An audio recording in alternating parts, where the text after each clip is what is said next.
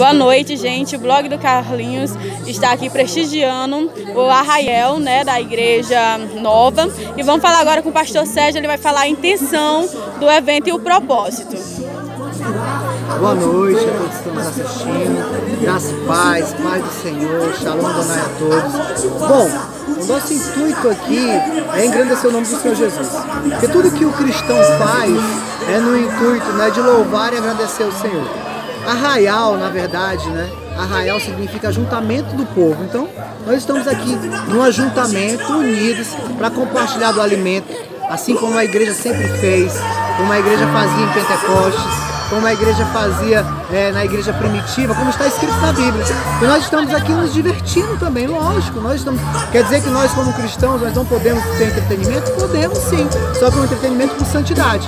Aqui você tem a, a, a opção de estar num lugar onde você pode se divertir, pode louvar, pode agradecer o nome do Senhor, sem bebida, né, sem prostituição, sem nada que leve você, talvez, a pecar de uma forma diferenciada, porque todos nós pecamos, eu sei disso né? Apesar, até as pessoas que estão nos julgando estão, estão pecando, lógico, né? Nós somos pecadores, sim, nós somos pecadores, mas temos direito a louvar o Senhor da maneira que desejar.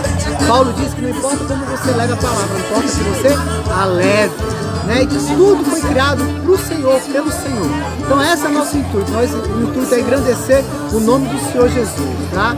Nós fazemos já a nossa quarta edição, sempre sabe, com muita alegria, com muito fruto. A palavra do Senhor diz que nós conheceremos as árvores, a árvore pelo fruto. Então tem pessoas aqui que se converteram nessa época, deixaram de beber, deixaram, sabe, de estar no mundo e estão muito bem, tá? Então essa é uma estratégia da Igreja Nova, né? Para as pessoas terem uma opção, uma opção de se divertir com santidade, tá?